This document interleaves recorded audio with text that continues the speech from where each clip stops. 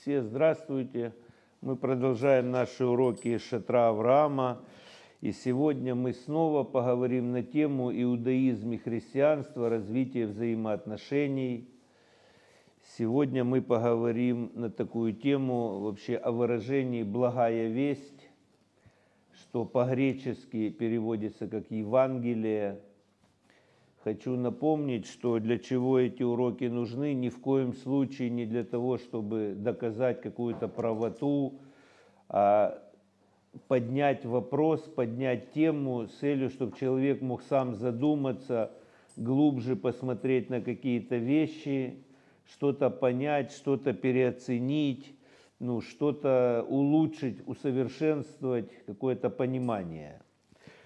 Потому что когда вещи давно приняты, это не значит, что они все правильные. Также, ну вот, например, есть такое понятие язычества. Вот то, что в Торе сказано, язычники. Сегодня в каких-то странах до сих пор это существует. Например, если поехать там куда-то в Таиланд, где-то в какие-то другие места, можно четко увидеть, как люди до сих пор поклоняются каким-то идолам – есть какие-то разные, хотя этому очень много и большое количество лет. Но это не значит, что это правильно, это не значит, что это ну, должно существовать, все равно это должно измениться со временем. Поэтому мы немножко будем углубляться с вами. На прошлом уроке я затронул тему своей истории, что когда я вначале был просто атеистом, потом задумался, что есть какой-то смысл у всего этого существования. И первое, куда меня пригласили в христианскую церковь. В конечном итоге я попал в протестантское направление, и мне посоветовали там вот читать Новый Завет, а Ветхий Завет потом, потому что Новый Завет главное. Ну, я так и делал. Потом через 10 лет я попал в синагогу, понял, что я еврей, начал ходить на уроки по Торе, и потом я пришел домой, это я рассказывал все на прошлом уроке, и пришел домой, я взял свою Библию, я зачеркнул слово «ветхий», написал слово «вечный», а потом через год спустя я взял, открыл там, где написано «новый», зачеркнул слово «новый» и написал дополнительное поручение – если бы это было сегодня, я бы его иначе немножко назвал. Я бы назвал возобновление, возобновление, возобновление поручения. И хочу сказать, что я имею в виду. Вот есть как бы в одной книге собрано то, что написано Ветхий Завет и Новый Завет. Я бы это назвал так, вот что я имею в виду. Есть такое понятие юридический договор. Юридический договор. А есть понятие доп. соглашения. Что это значит? Если берется, ну, например, у меня все прописано в юридическом договоре. Например, я сдаю квартиру. И там все прописано, если что-то кто-то сломал, кто оплачивает, если ремонт, кто оплачивает. Мы все прописали. Но потом пришло время, и цены стали другие. И мы сделали дополнительное соглашение, что не такая цена, а такая цена. Но без, допол... без юридического договора дополнительное соглашение Филькина грамота. Также потому что оно, оно только дополняет какое-то явление, но без юридического договора ничего. И вот точно так же Синайское откровение было даровано всему человечеству. Там были законы, правопорядки, постановления, мораль, и так далее, и так далее, и так далее. Это дано было всему человечеству. Да, евреям дано было чуть-чуть больше, потому что этот народ назвали народом священником. Но там же на горе Синай, как мы на прошлом уроке с вами выясняли, было сказано о семи законах для всего человечества, которые даны были после потопа. И это тоже был вечный завет со всеми народами.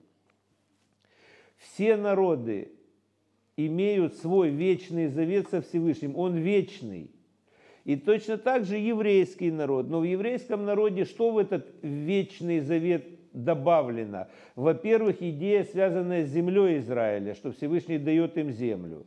Во-вторых, что этот народ назначается священниками, царственным священством и будет иметь особенное служение для Всевышнего, которое тоже будет приносить свет во все мироздание. И в то время это был храм, были жертвоприношения и так далее, и так далее, и так далее.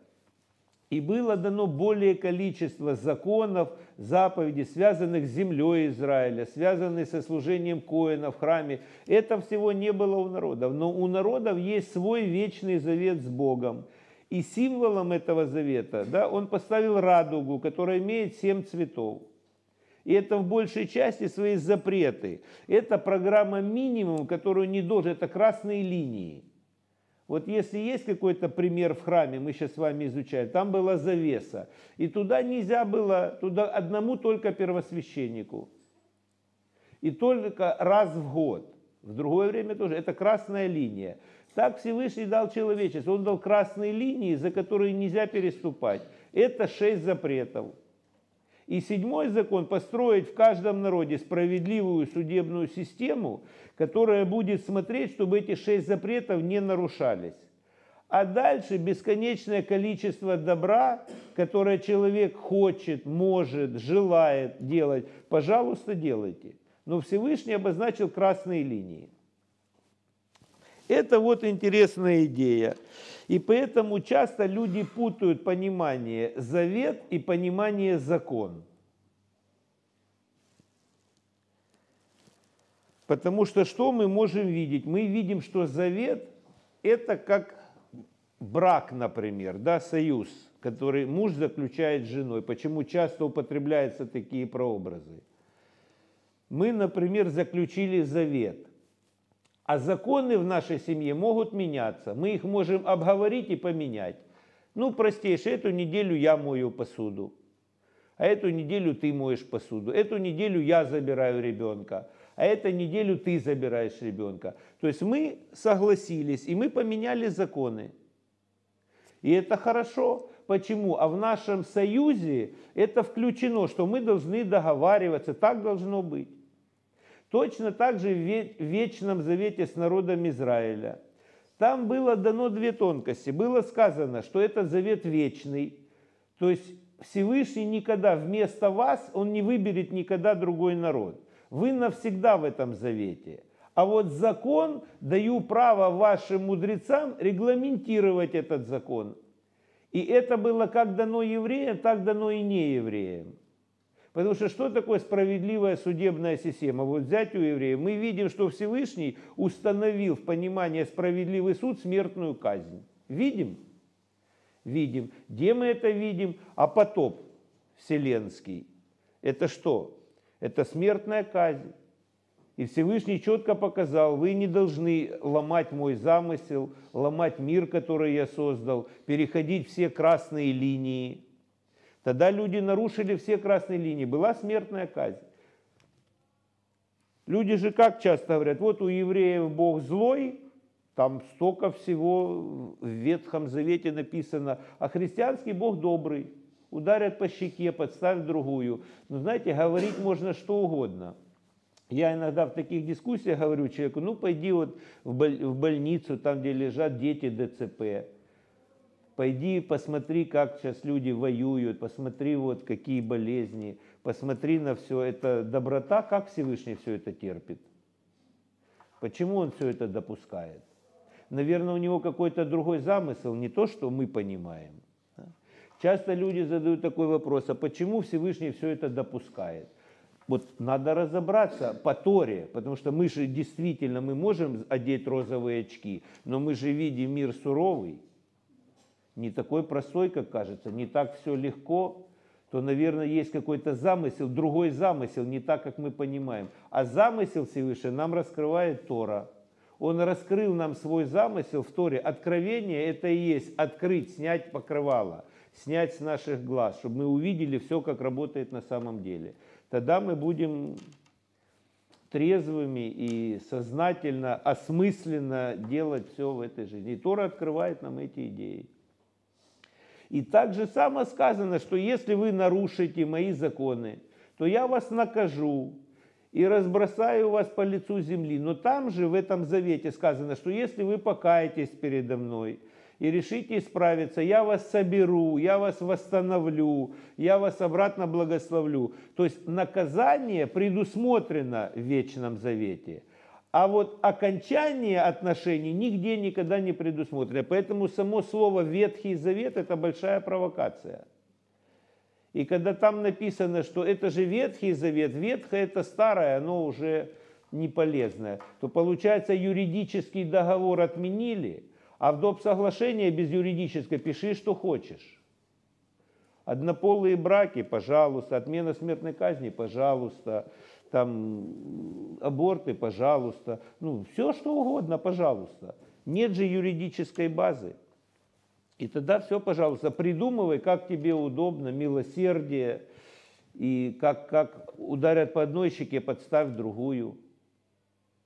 Ну, например, смотрите, это же уже две тысячи лет этому учению. Вот мне, например, нравится, когда бываю в какой-то стране, я люблю на экскурсию с историческим уклоном поехать. Вот, например, в Мексику. И там вот были, ну, когда христианизировали, первые христиане туда попали, там были злые языческие племена, майя, ацтеки, ну, такие, это были серьезные, там, они вырывали сердца, приносили в жертву людей. И там история знает, как там насаждалось христианство. Там точно никто не подставлял щеку, ни правую, ни левую. Там христианство насаждали военным путем. Например, поехать в другие какие-то, ну, Доминиканскую республику, там, тоже пойти по экскурсии. Там были тоже языческие племена, но там были другого характера. Там были мирные люди, они занимались рыбалкой, занимались пушниной, ну, торговали, имели золото древнее, у них там были все. Их так же само к ним отнеслись. Так же само никто не подставлял щеку, просто их насадили там как бы христианскую веру. То есть делалось совсем не так, как сегодня позиционируется. То есть говорится одно, делается другое. И поэтому тут важно понимать, что есть завет, а есть закон. Например, еврейский закон тоже со временем. Как вот происходило? Мы видим, ну, любой пример, возьмем один. Вот было дано возможность многоженства – можно, конечно, сегодня в нашем поколении шутить по этому поводу, все, но это потому, что мы не жили в то поколение. Но в то поколение мы видим, что Всевышний в законе разрешил иметь там при определенных условиях, что жены согласны друг с другом, что есть возможность содержать эту семью. При определенных условиях допускался такой брак. Пришло какое-то другое поколение, еврейские мудрецы – увидели, что это теперь уже приносит в этом поколении больше вреда, что женщины не могут так, если даже еще мужчины могут, то женщины нет, то ничего хорошего из этого уже не получается в этом поколении. Сели и переписали закон, изменили. Не отменили вечный завет, а переписали закон и утвердили новое положение. Из того это определенное количество людей имеют только одну жену. А в каких-то народах это до сих пор так есть. Понимаете? Разница завет и разница закон. Вот это очень важно ну, понимать, потому что сегодня это редко, ну, кто понимает.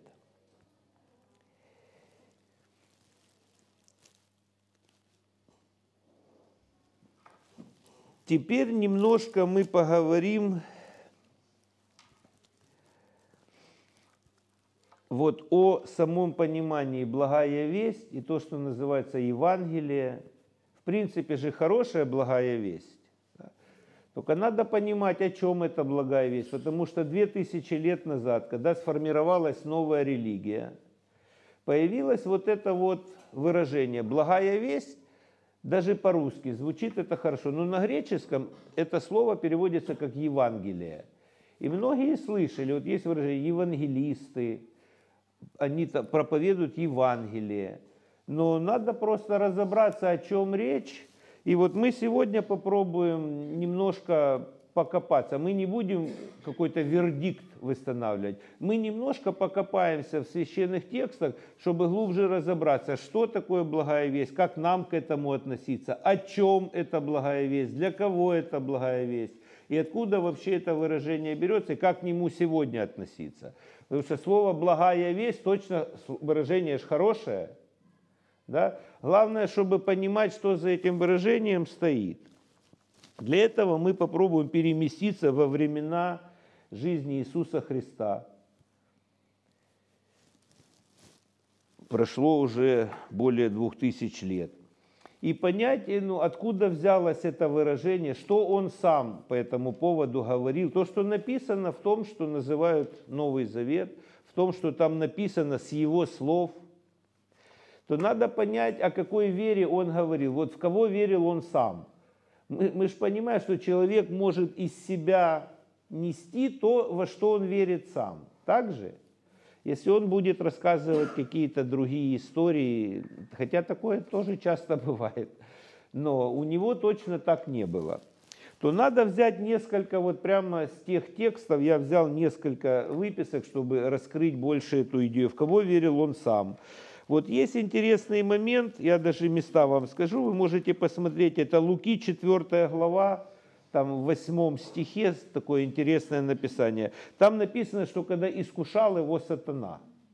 Ну, это интересная идея, мы понимаем, мы можем сразу картинку, вот как змей искушал Хаву. Искушал, он не мог его заставить. Он ему предлагал, соблазнял, но действие должен был сделать сам, сам Иисус. И он ему там разные предлагал, не буду глубоко в это входить. Ну, что ответил ему Иисус? Отойди от меня, сатана, потому что написано, на какие тексты ссылался сам Иисус. А понятно, что он ему сказал? Господу Богу твоему поклоняйся и ему одному служи. Иисус говорит сатане, отойди от меня, потому что написано. На что он ссылается? И передает ему первый, первое речение, которое есть в молитве Шма Исраиль. «Слушай, Израиль, я Господь, Бог твой, который один». Иисус говорит эти слова, «Господу Богу твоему поклоняйся, Ему одному служи». Задается вопрос, ведь в других потом текстах и посланиях Его называют Господом, самого Иисуса называют Господом – то кого тогда Иисус называет Господом и Богом. Сразу вот это двойное имя – Господь и Бог. Тот, который Создатель, все создал, и тот, который всем управляет. Вот если коротко понять идею, он не просто все это создал, а он всем этим управляет 24 часа в сутки.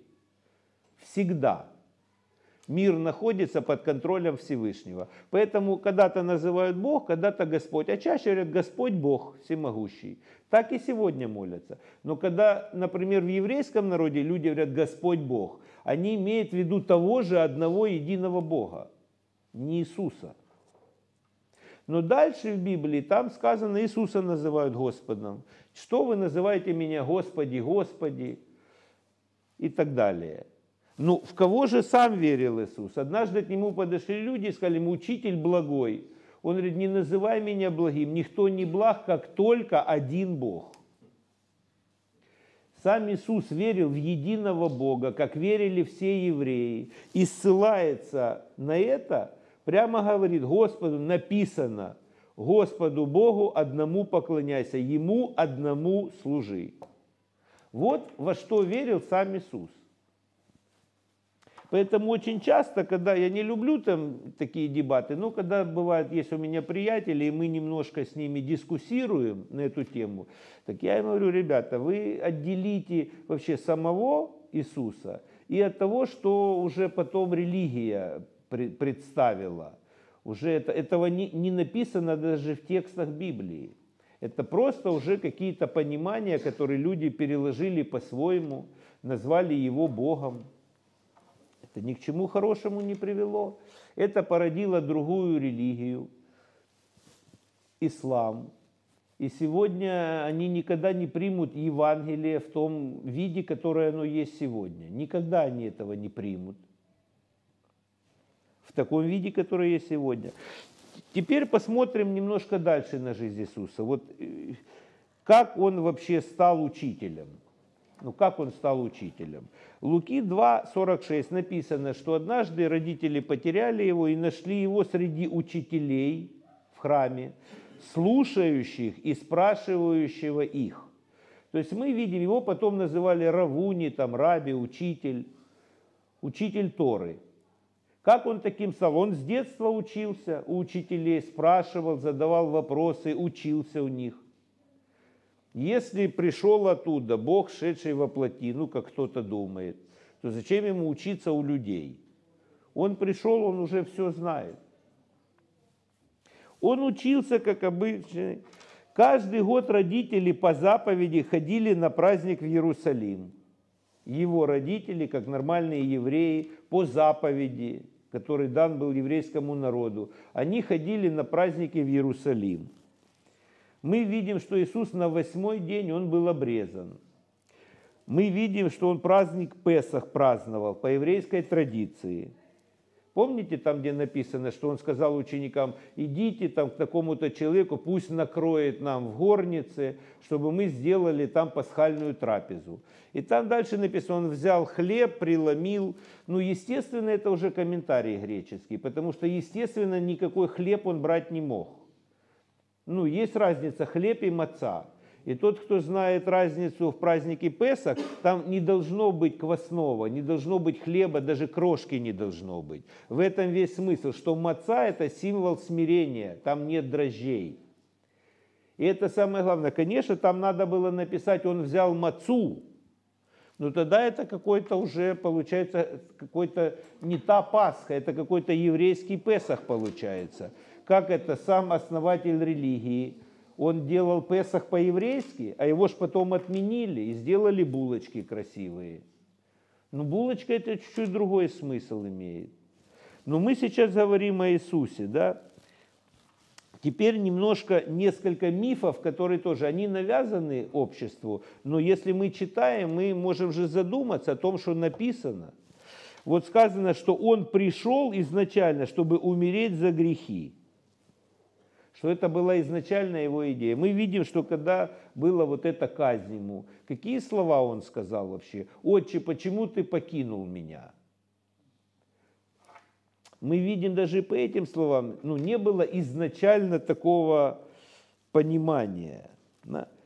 И потом вот эта вот идея, миф, мы говорили, что «се дева в чреве роди». Да, это было в Танахе написано, но неправильно перевели. Там дева стоит слово на иврите «молодая женщина». Там не сказано, что она девственница.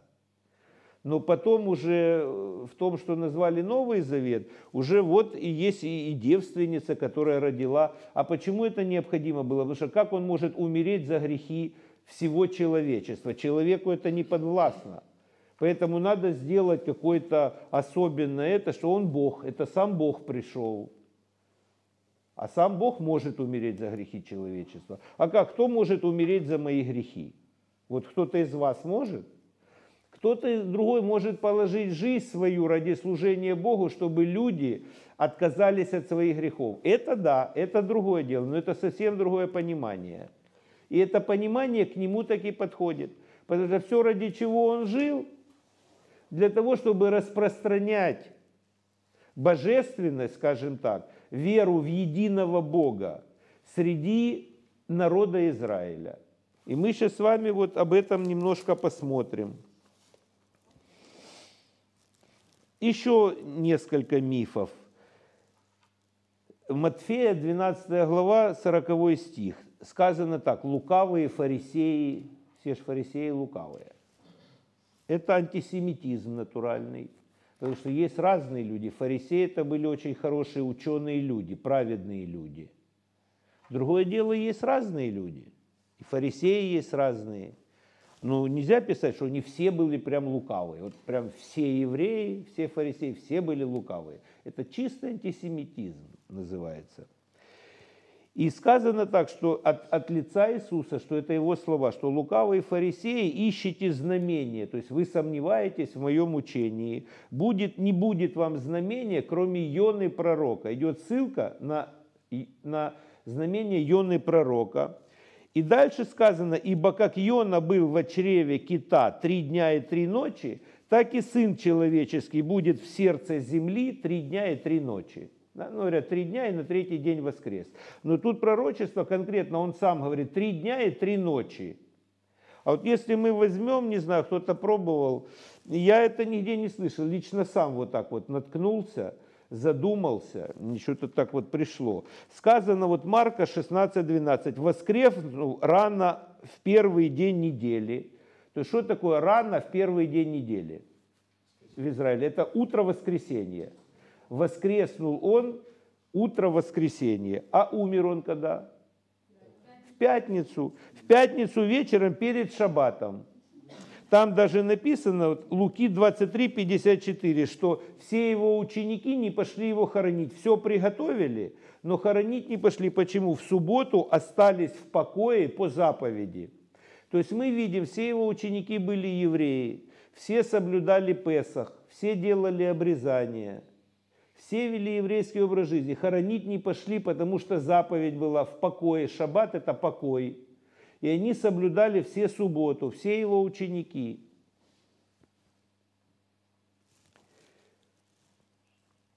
Поэтому это миф такой, что потом уже люди сказали, что Иисус отменил обрезание, отменил шаббат для еврейского народа. Мы сейчас не говорим за другие народы. А это было в еврейском народе. И шаббат он не отменял, и обрезание не отменял, и другие все законы не отменял. И четко сказал Матфея 5 глава, я не пришел отменить законы или пророков. Все сбудется, все, я пришел наоборот помочь людям это выполнить.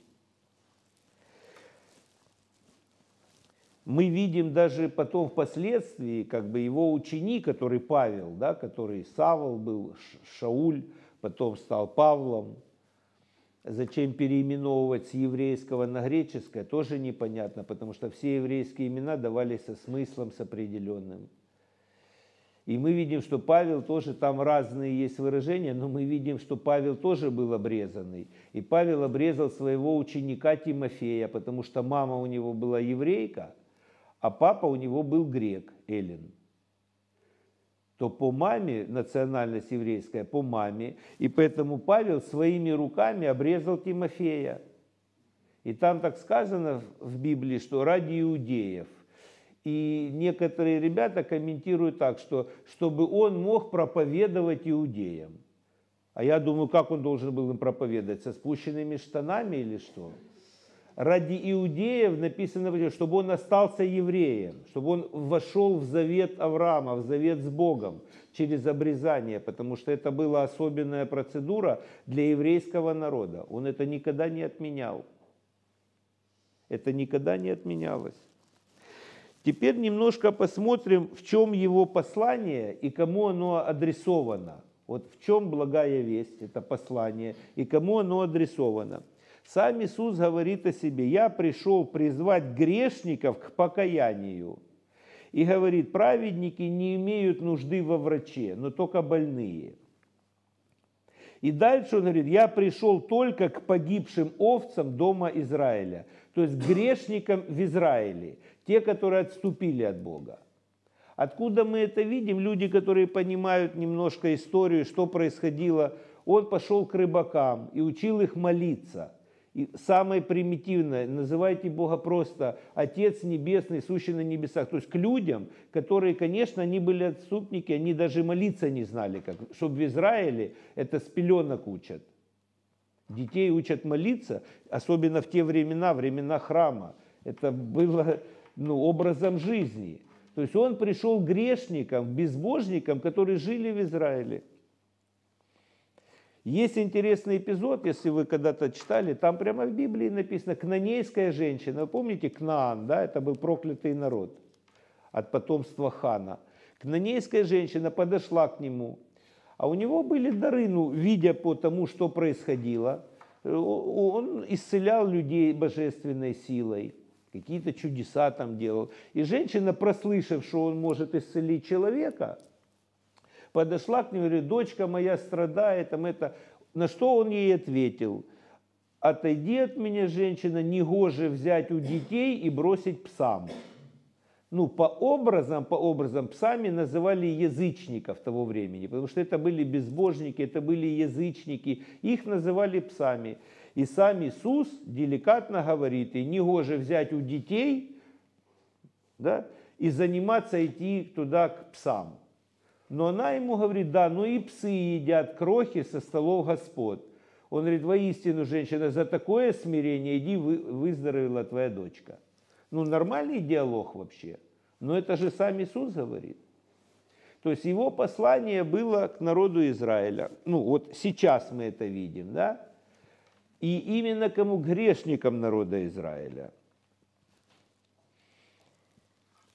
Теперь с чего начинается идея вот этой благой вести и то, что пришло в новую религию? Сказано, что когда он умер и воскрес, а вы, кстати, посчитали три дня и три ночи. Если в пятницу вечером, то один день и одна ночь – это суббота, вторая ночь – воскресенье. То есть две ночи, пусть три дня, но две ночи.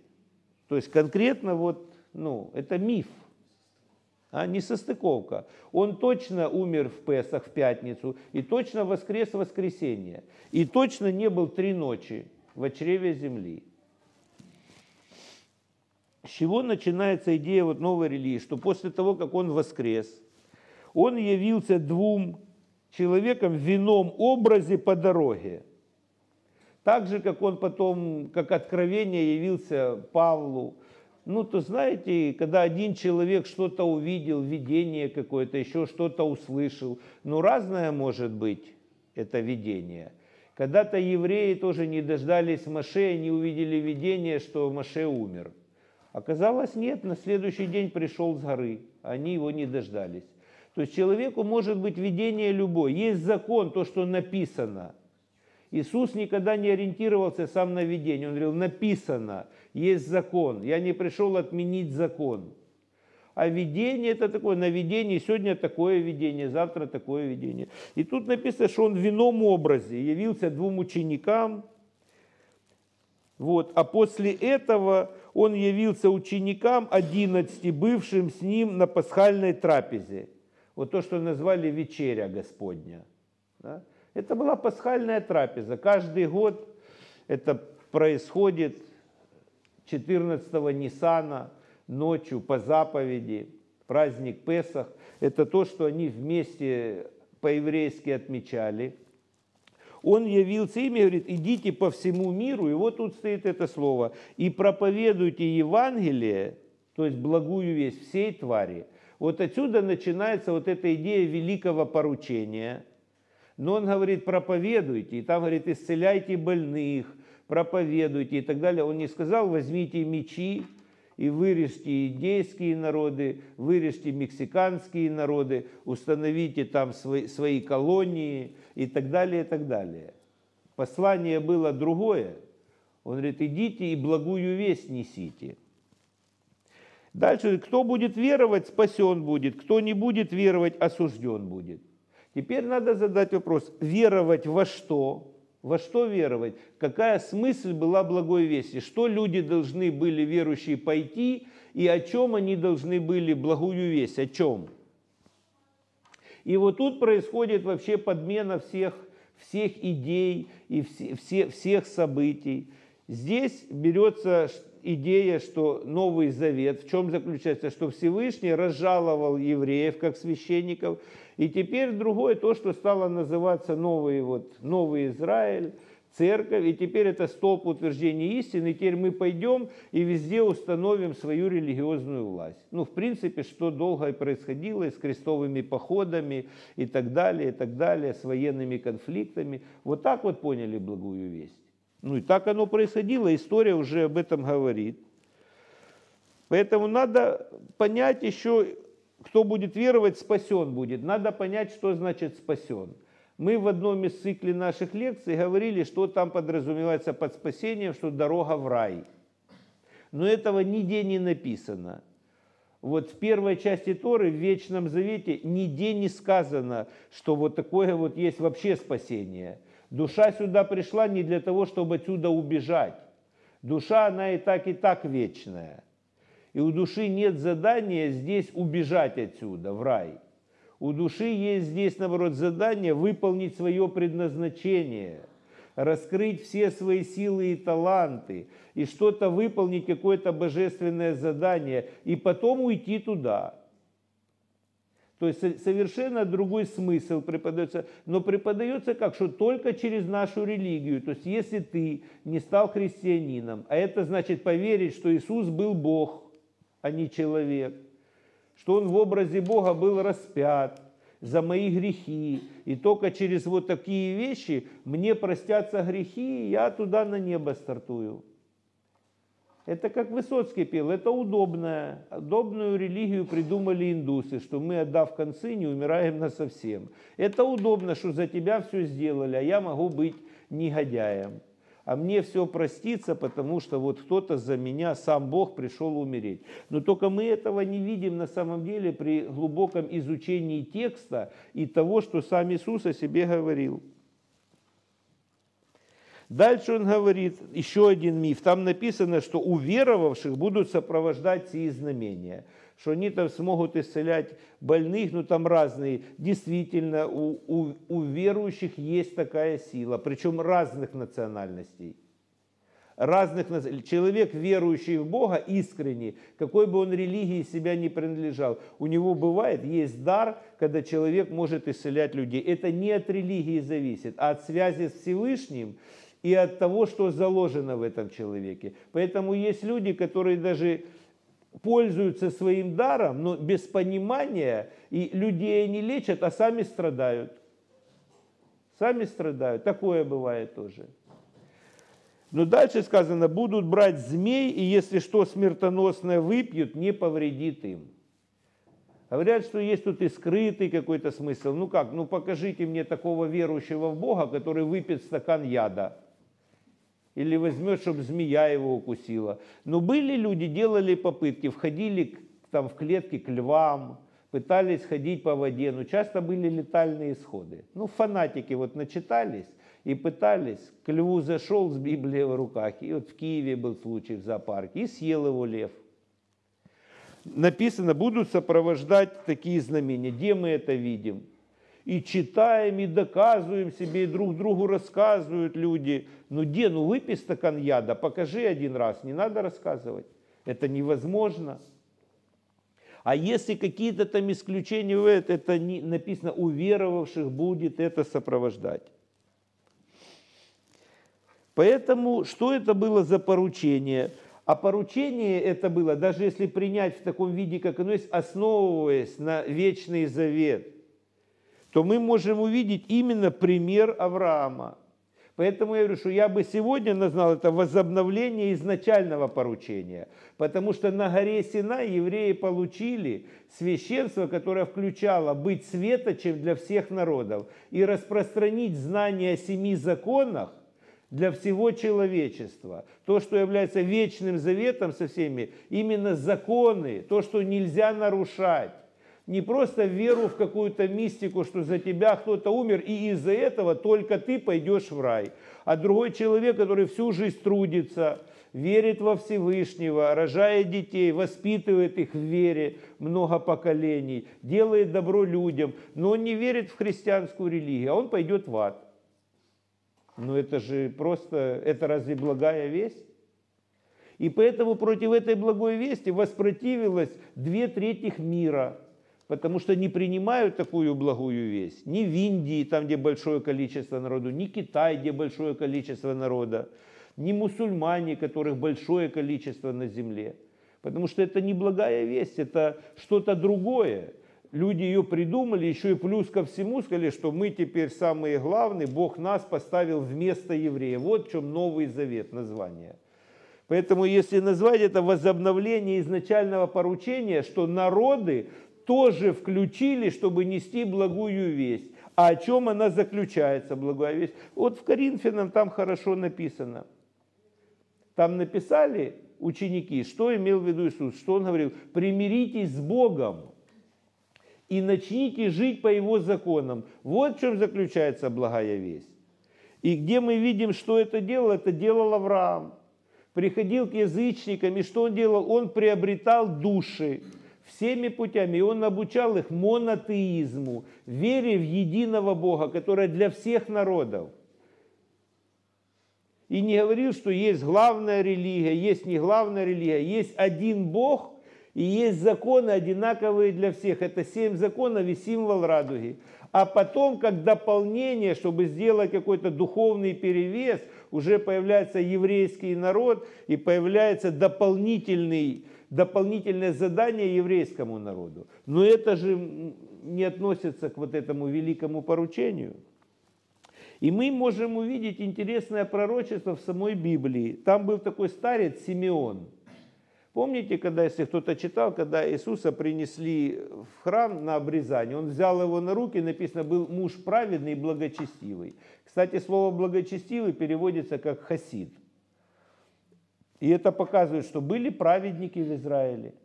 Потому что в другой книге, там послание к римлянам, и на этом делается акцент, что все согрешили, лишены славы Божией, что первородный грех, все согрешили. Это в Риме были все язычники. И в книге, которая адресована к римлянам, там про них написано. А про Израиль, наоборот, сам Иисус говорит, я не пришел к праведным. Вот Симеон, который был благочестивый хасид, и он взял его на руки. И что он сказал? Вот свет к просвещению язычников – то есть он тогда уже видел пророчески, видел много горя. И он говорит, много горя будет на земле из-за этого младенца. Но тут как надо понимать, оно так и стало. Свет-то пошел к язычникам. Многие язычники благодаря вот этому посланию узнали таки о наличии Бога во Вселенной, о наличии какого-то добра во Вселенной, о благотворительности. Много хорошего произошло но сама идея была поменена, да, и поэтому нет такого влияния на мир, нет таких перемен в мире, потому что это не истина, это послание было измененное, измененное послание. Он говорит, это свет к просвещению язычника и славу народа твоего Израиля. То есть с этой точки начнутся перемены, начнется восстанавливаться Израиль, то есть евреи начнут собираться, учить Тору, Тора начнет раскрываться, и этот свет пойдет также к язычникам. И эта идея, она описана, что это все будет в конце времен. И поэтому сказано, что будет семя Якова, как роса на траву. Что такое семя Якова? Это еврейский народ, который будет восстанавливаться в своей славе, в учении Торы, в жизни по заповедям – это будет как роса на траву, потому что уже благодаря вот этому вот движению, уже идею о Боге, о приходе Машеха, о изменении мира, уже знают многие народы. А в последнее время, что семя Якова вот как роса на траву, то есть выровнятся кривизны, люди поймут истину, смогут что-то исправить, что-то дополнить. И от каких-то фанатических идей начнут внедрять правильное здоровое учение. Это и есть роса на траву. И это то, что мы видим сегодня, то, что в пророках сказано, что люди захотят изучать Тору.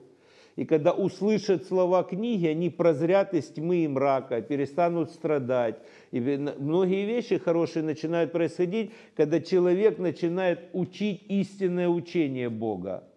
То, что он действительно дал на горе Синай, дал как еврейскому народу, так и всем народам, потому что там есть сила на этом учении –